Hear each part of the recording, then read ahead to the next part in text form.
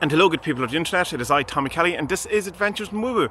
And in this episode, I want to talk a bit about whether people can actually change or not, or whether we're just kind of stuck with who we are.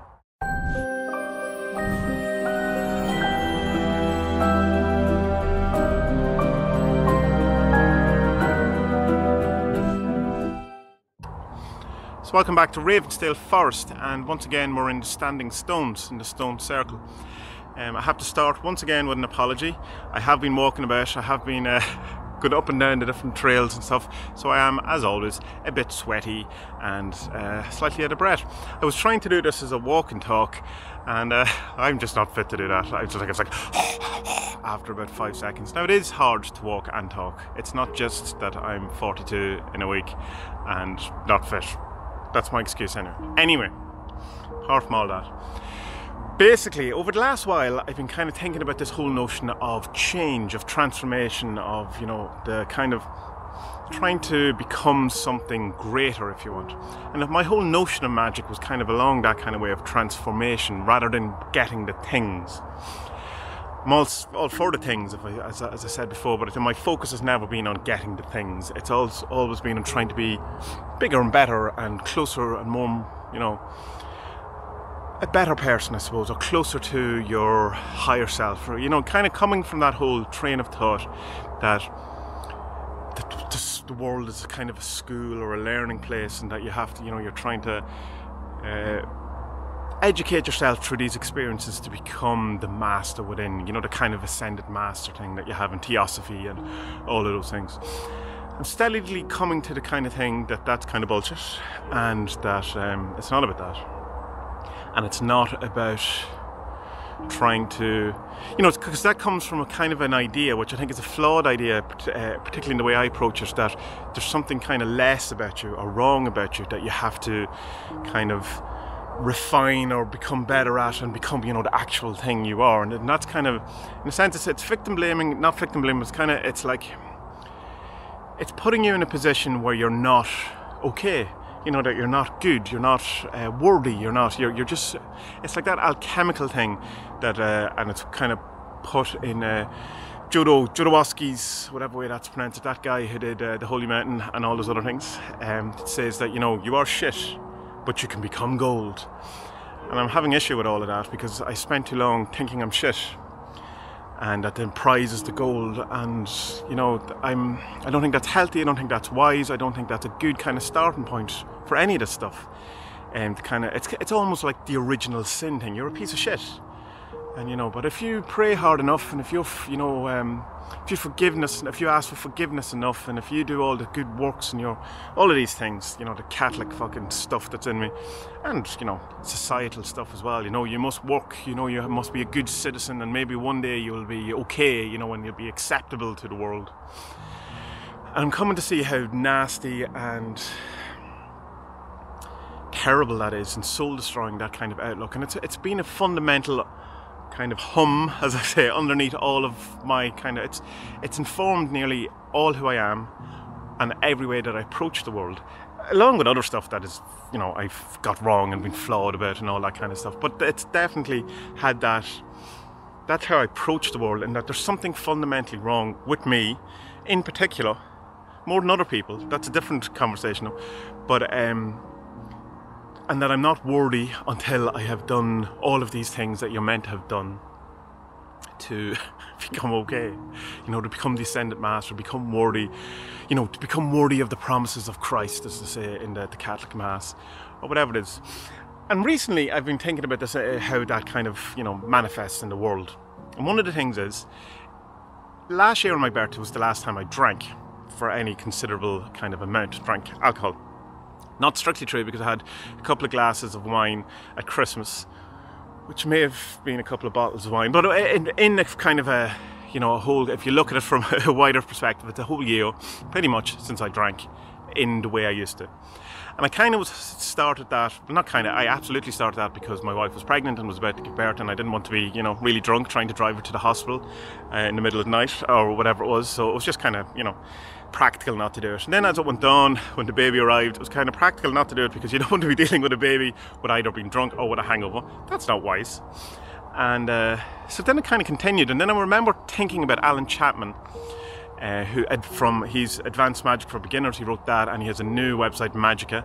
Um, who I'm quite a fan of. His Baptist Head was where I came across him first originally the Baptist Head uh, website. But anyway, he talks about that he went off drink alcohol for a year and he found it a hugely satisfying experience where he got more clarity, he felt fitter, he felt better mentally, his magic worked better, and perhaps I'm paraphrasing and adding to it, but it was he genuinely seemed to have a kind of a a very positive response to the whole giving up alcohol for a while. Now I don't know much alcohol he was drinking in the first place, but I had to assume it was either equal or less than mine, because I'm Irish and we've normalised, you know, being absolutely drunk out of your head here. It's not. It's not like we're all all Irish people are alcoholics in any other society other than our own, where we're just grand. But there is this kind of thing where we have. Um, well, what sort of a night did you have last night? Ah, didn't get up to much. Only had about eight or nine pints. I've had that conversation many times. So I thought that after having given it up for a year, that I would have some kind of not necessarily an epiphany, but something would change and it didn't. Now, you know, I'm not uh, fundamentally a different person. I'm not. I haven't noticed any huge benefit. I was hoping that I would get kind of a better handle on my depressive. Uh, periods. I thought that that would the drink might have been a catalyst for an awful lot that. My wife certainly did. That she thought that when I when I was drinking, that it would lead to periods of you know black dogness coming around or depression or whatever. And while the initial hangover stuff did, you know, yeah, I definitely dipped. Um, my chemicals definitely dipped, uh, uh, you know, from hangovers or whatever, and I, I, would feel very almost suicidal in a sense the next day that that low or whatever from drinking if I had a heavy session or whatever. But I thought that if I took that out of the equation, that I would have more periods where I would be up or normal than down you know, when you take that kind of alcohol being a depressive, when you take that out of the equation, that it would, you know, go, oh, all of this wasn't, I wasn't really depressed or sad or fucked with the world. I was uh, just drinking too much. That didn't happen because this year has been as kind of hard on me mentally as any year, other than I wasn't even getting up of, uh, you know, drinking or whatever. So, the calorie element of it, sure, I, I think there's been some sort of um, benefit to that. But I, you know, very restrictive in calories since Christmas, hovering between 1300 and 1400 calories a day, and doing lots of fasting and stuff like that. So I can't just point to the alcohol for that. And I have lost some weight, uh, of course, not a huge amount of weight or anything. I think from Christmas, a stone and a half, or what's that in pounds? 14, 7, 20 pounds, something like that, which is not an awful lot, like really considering the amount I was kind of getting out um, and the amount I was eating and the, the, you know a lot less drink and all of those type of things. But that's my diet thing is like that's just you know that's an ongoing thing. Don't give me diet advice, please. I've had enough. I've had enough of people's diet advice. I know your heart's in the right place, but I'm okay. And I'll you know go check out my uh, weight loss for the soul uh, blog post or whatever, and you'll see why I'm very kind of. um, over that whole you know advice. That's just it's it's too much. People demand that their way is true and all these things. Anyway, tangent. So this got me more thinking about all of these things about change. And when I was thinking about Reiki and all that kind of stuff, and I talked about it in my kind of the first video when I was going into Reiki, was that when I originally did Reiki in my early 20s, I was hoping for this huge change in my life that it would fundamentally change me and I'd have a better outlook, and I'd have massive insights, and I'd approach the world in a different way. And of course, that didn't happen. And it didn't really happen again with uh, the Reiki sessions I did recently. And while there was big insights, or maybe insights, towards like while stuff happened and stuff came up, um, I'm still who I am. I've not, nothing has changed. My mood hasn't changed. My outlooks haven't fundamentally changed. Um, or at least that's how it feels. I do have a rebuttal to this, but I, will get to that. A while ago, when I was telling a friend of mine, who I won't say whose name it is because it's not fair, um, it's his, you know, it's not my story to tell, but I can tell it kind of in a way. And when I was telling him that uh, I, you know, we were pregnant, we are going to have a baby, and he was saying that um, I hate when you think there's people standing behind and he was saying that um, the thing to remember, or the thing that he found that was most interesting about it was that you think you're going to be a different person when this happens, or that it's going to change you in some way or whatever. But when it happens, you're just still you in that circumstance. And he's saying even when his mother died, and his mother died of um, cancer and young and stuff like that, um, that he was still. What he found was kind of his one of his takeaways, obviously, from was that he was still him within this, and that it hadn't fundamentally changed. And I kind of I didn't really understand that. Like I obviously intellectually under, understood that. So you think when you have something like a baby, which is a huge thing, like it's a massive magical change to the world, um, and your life will never be the same again. But you're still you within it, unmoved, unchanged in many ways, you know. And it's not that. Hold on until I get rid of this spider.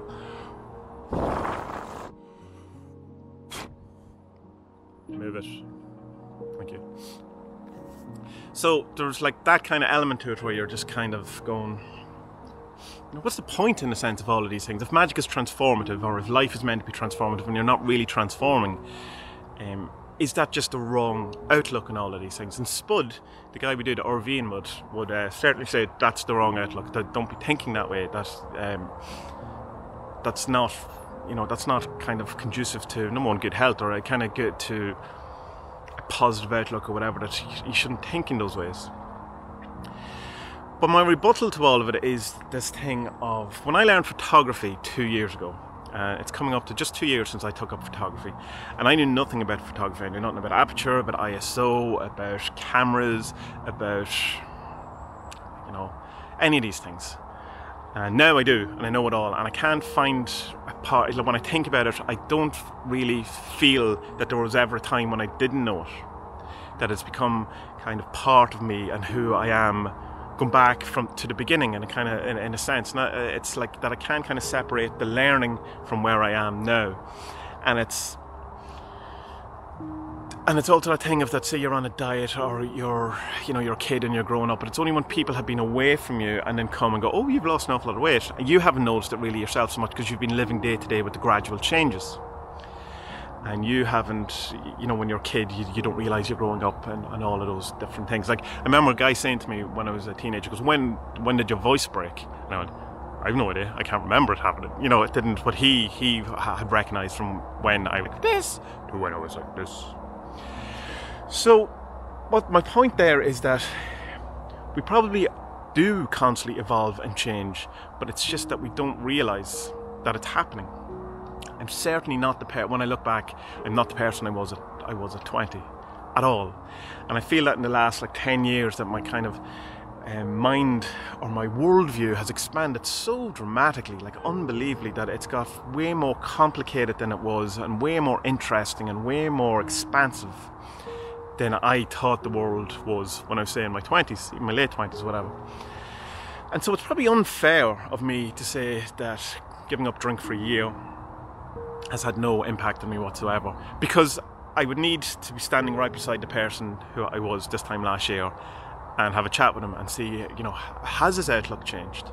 Has things, you know, has it had an impact in, in any other ways? Let's get his bloods done and let's do my bloods now and see if there's, you know, an improvement, all of these things. But because it's a gradual change, it's hard to quantify or it's hard to kind of point at or it's hard to know if it actually happened or whatever.